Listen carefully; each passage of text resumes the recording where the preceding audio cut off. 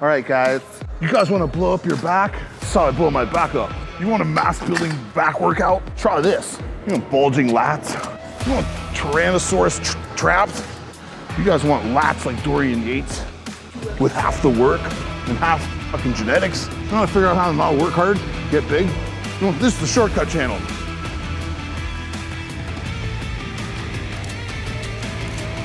Don't get this on camera. Don't get that on camera. Okay, I'll tell you that after. We'll talk shit after. Remember, always talk like you're going to be disposed, deposed in 10 years. Like a lawyer's gonna ask you, why did you say that? Who were you talking about? Got that from Derek Fay. Never speak in absolutes. Red flag time. I don't do dumbbell rows that often, especially at this gym, because there's literally no fucking point, because there's a million great row machines in here. Why the fuck do I need to do dumbbell rows? But for everyone who doesn't have access to great back equipment, you should be dumbbell rowing. Just a fucking staple of like what you're doing, right? We're lucky enough here to be living this vanity life where we, we have row machines. But anyway, so like I've said before, when it comes to rowing, I've had people set up here, you put weight into the bench, you rock through, you pull. So I'm always rocking through things. My head's pressed back, my chin's down, but my shoulder is able to move. So I'm rocking. There's any number of ways I can do it. I can stagger my stance. I can rock here. I can, I can do anything I want. As long as I keep this body back and I'm having this feeling of like sitting back into, into hip here and moving through hip as I pull. Allowing shoulder to roll. Roll. So I'm not doing this. It's not what I want. I don't want to be sawing wood in midair. So I saw, let's just say, a reputable individual in the industry demonstrating this, where this individual was holding this position, which is a good starting position. It's good. We're good so far. So far, so good. Then it turned into this.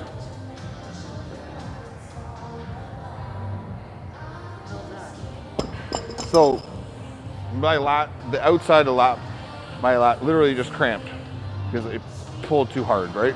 There's no movement in it. It's like me taking my a heavy a heavy weight on the cable and just going and like my biceps like yeah it's working but it's fucking hurts. It doesn't feel good. I'm not able to lengthen and retract right? So just be understand boys and girls if you see this setup this is fine. And if i'm looking up it's like i'm looking up through the brim of a hat. So if i had a hat on i just want to lift my hat up my head up enough just to see myself in the mirror see this bench. I don't want to be here I just want to create enough tension upward so that I'm looking at that I can move forward when I pull instead of going right.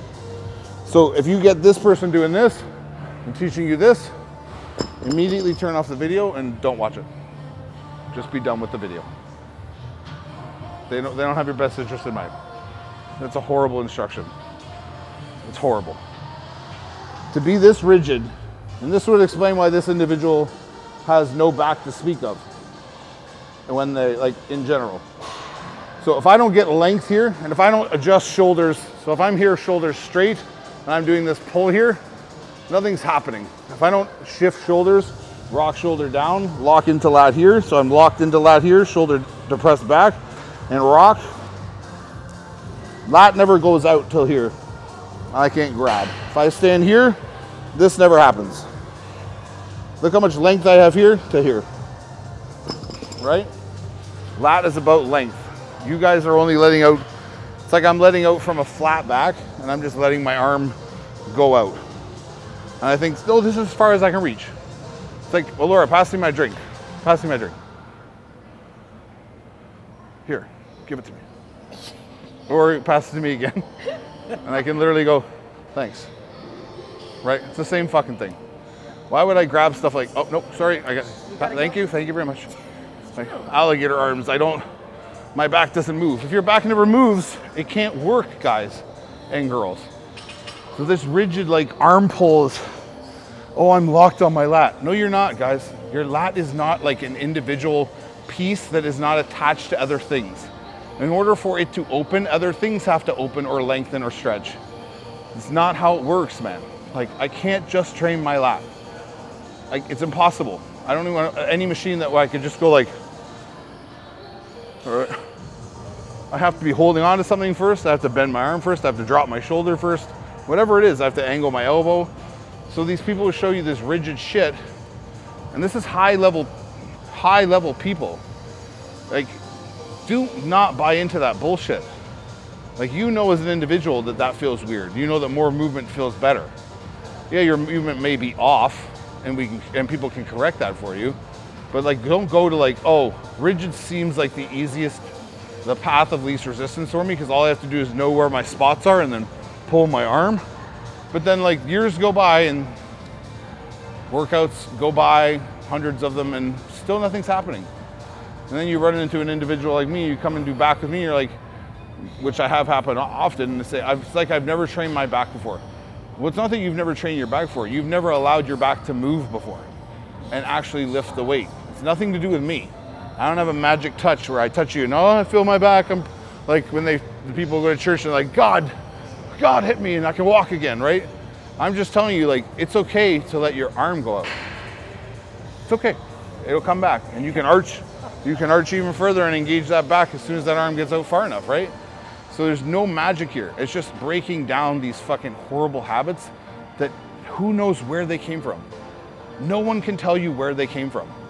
And if they came from if they if they literally came from someone looking at a textbook where the diagram is like literally like it's like this and the guy's like this, and that's all it shows.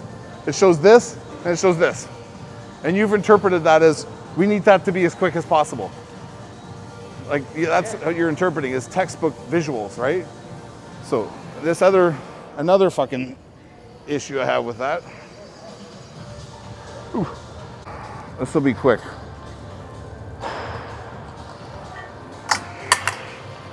Individual and many people we're using this bar too, which is like, we're already starting out in a hole. Why you would use this bar for tricep?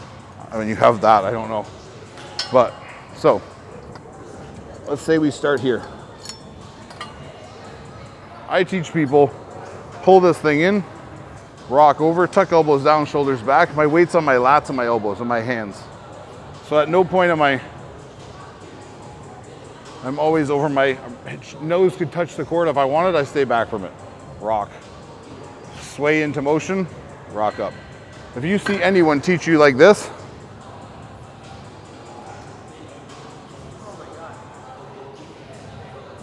run. Run fast and run far. and before you run fast and far, take a look at their arm and you'll see that it's like that. Tricep is down. There's no booty pump. There's no booty rump on that tricep. There's no hump. So if you think that this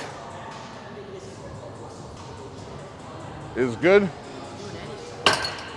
hit me up in the DMs and I'll fucking help you train your tricep.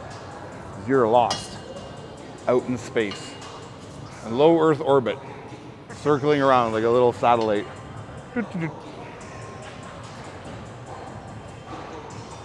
You still here? Yeah, so I saw a video the other week. There's uh, there's actually um, I forget the other guy's name on it, so I apologize for forgetting your name. But they're both smart dudes. John Jewett and his the other guy does his podcast with him. Sorry, you forget your name, man. I'll get it in the credits. we'll add it later. But he's got glasses. Super smart dude. I think he has like No Switch Fitness is his thing or something like that, or Switch Fitness. Anyway, these guys were. John was talking about how, you know, he doesn't see a need, and I agree with him for the most part. That a, a guy who's coming up in bodybuilding, like a beginner, an amateur, who's trying to like become something worthwhile to putting on stage. Like you don't need to really, shouldn't really have a focus specific arm day because you're kind of, that's another day you could be using to basically bolster your frame and like add, put muscle on and train muscles and train bigger body parts where you need the, you need the size, you need to put on the weight, right? And I understood that, I get that completely, especially for, for amateur level guys or lower level guys, but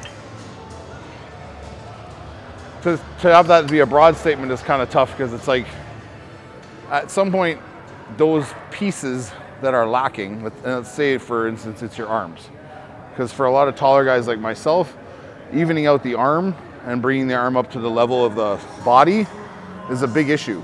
So a lot of big guys like who are bigger dudes, they're bigger all over. Arms might even look good standing still. As soon as the arm comes off the body and gets wide, it becomes stringy and long because the length of it shows and the distance from elbow to lat becomes so great that almost looks like you have these like beanpole arms. You know what I mean? Like they just don't fit the body unless you got like abnormally short arms, right? So it's like I understand that and but I also have an issue with like this overarching thought that like to be a better bodybuilder you just need to put on more size. That is true, but like if we're not focusing on where the size is going on, so say we say we just want to put on 15 pounds. We need to be 15 pounds heavier. Okay, well 15 pounds where if we could ideally put it? We want to put like five pounds in the lats, like like five pounds in the shoulders, five pounds in the legs. If we can like arbitrarily pick how we do that, it's pretty hard. So we have to like go with what develops best and whatnot, right? But it's like, like I was saying before, the mass you need to put on, yes, you need to put on 15 pounds, but is it that you need to put on 50 pounds or is it that you just need to be a bigger presence, a bigger frame on stage? So if I fill in this gap that is now my arm that's too long and I fill out this, fill out this frame and I bring up say my lats, now I've created a visual look that's bigger than the previous look. But I haven't had to add exactly 15 pounds. So I don't need to be 250 on stage last year and be 265 this year and just I magically am better. So I understand where they're going with that and I do agree with it to an extent, but it's like you have to focus from the beginning, especially once you're developing some muscle mass, which they're kind of not talking about. But once you have a structure, you have to understand how that structure needs to, we need to slap on the pieces of muscle. We need to put them on in the right spots we don't want to overdevelop areas anymore because if you're overdeveloping already in legs and you're already developed in chest already, they're just going to keep developing and they're just going to keep overshadowing the, the lagging parts, right? So if my chest and my upper body and my back are great, my arms are lacking, yeah, I'm going to have an arm day. I'm going to train the shit out of my arms. And if I don't put on 15 pounds of muscle, but my arms got three inches bigger, I think that's a win, right? So just to make broad statements like that, it, it, I understand what they're saying and I get it because they're talking to amateurs, but like broad statements like that can be dangerous because it's like it's bodybuilding is not about your weight on stage. It's not about that. The littlest guy in the show won the show on New York Pro last weekend. Littlest guy in the show. Yeah. He didn't have to put on 15 pounds to do it. So just understand it's not always when you get back to these discussions of weight, you get you start slipping down that slope and start getting to people to think it's all about weight and size and weight and this is like no, it's about proportions, development, and getting things to pop off the body, right? So if someone has a shitty chest, you got to train that chest, man. And we got to do it in different ways than we've been doing it. We can't just hammer it with bench press, heavy dumbbell presses. No, we got to lower the weight. We got to get the person developing so that that muscle starts to pop. So it starts to appear and on stage and actually have some presence. So no, we don't need 15 pounds of muscle. We put on 10 pounds over overall muscle, that's great. But to, to have the goal just be putting on weight, I don't know. I get it, but I don't get it. So be when you when guys and girls hear that, just be conscious and have like play devil's advocate with it a little bit and just be like, well, you know, like I understand that, yeah, but you know, I mean, he went he went on further in the description of the video in Instagram to explain what he meant, and I totally understand what he said and not arguing at all with him. The guy's a fucking genius. He's a great bodybuilder too. But I just worry that when these younger kids kind of see that, they'll watch the soundbite kind of like they do with mine. And they'll just take the soundbite for what it's worth, right? So I guess we all got to be careful. But at the end of the day, I don't give a shit. So.